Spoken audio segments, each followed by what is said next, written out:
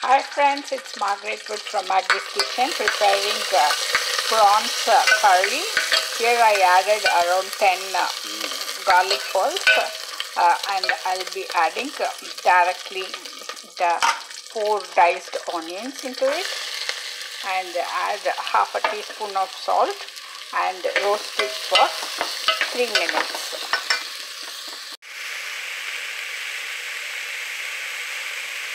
Hi friends, uh, here I added uh, mm, like uh, 10 uh, drumstick pieces, 1 teaspoon of uh, coriander powder, 1 teaspoon of lala masala.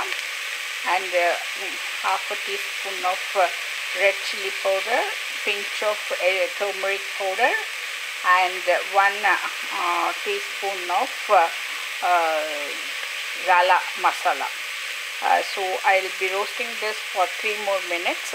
Then I will add the diced tomatoes of uh, uh, 3 into it and cook for 10 minutes. It should cook very well by the time I will clean the prawns and add to it.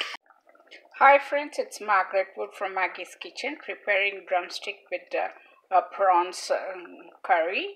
Here it smells so good, tastes so good because uh, the aesthetic smell of the drumstick and the sweet smell of the prawns combined with the tomatoes and onions and all other spices which gives the complete taste. And I can use this with the steamed rice or side dish for roti, chapatis, uh, puris um, and any pastas on top of it like curry and also with ragi brown uh, rice anything you can add this on top of it.